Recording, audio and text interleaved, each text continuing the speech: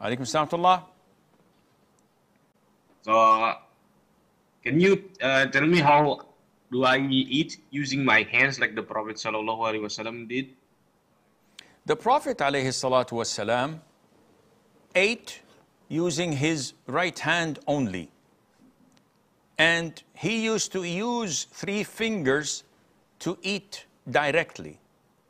However, this is not something that is mandatory upon us.